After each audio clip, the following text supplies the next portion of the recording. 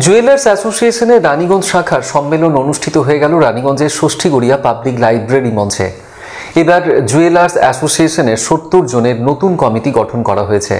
সভাপতি নিযুক্ত হয়েছেন স্বর্ণ ব্যবসায়ী বলরাম রায় ও কার্যকারী সভাপতির পদ পেয়েছেন বিশিষ্ট স্বর্ণ ব্যবসায়ী Pradip Kumar Nandi.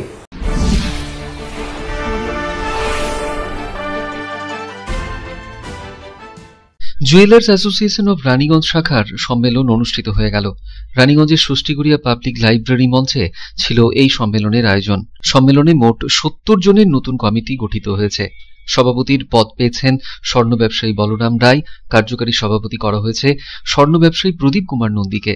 এছাড়াও তিনজন সম্পাদক সহ মোট সত্তর জনের নতুন কমিটি গঠন হয়েছে। নতুন কমিটির পদাধিকারীদের এদিন পুষ্পস্তবক দিয়ে বিশেষভাবে সম্মান জানান স্বর্ণ শিল্পী ও স্বর্ণ ব্যবসায়ীরাই সভাপতি বলরাম রায় জানান, কমিটিটা তৈরি হয়েছে। অ্যাকচুয়াল আমাদের সংগঠন তৈরি হয়েছে উনিশশো তেষট্টি থেকে।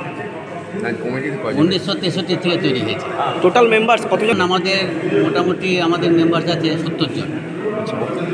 রানীগঞ্জের মধ্যে আমাদের সত্তর জন জুয়েলারি অ্যাসোসিয়েশনের দোকানদার মেম্বার আছে। মেম্বার মানে আর ইয়ে মেন মেন পদভার কারা গ্রহণ করলেন? কতজন মেন মেন পদ ভাগ গ্রহণ করল এখন উপস্থিত তিনজন সেক্রেটারি আমরা দুজন প্রেসিডেন্ট আমাদের চিফ অ্যাডভাইজার সুজিত কুমার নন্দী মহাশয় আরও এরপরে আমাদের সেক্রেটারিরা তাদের কার্যকরী সমিতিটা ওরা গড়- গঠন করবে।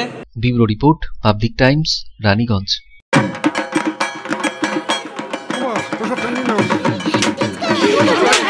দারুণ দুধটা কার চয়েস দেখো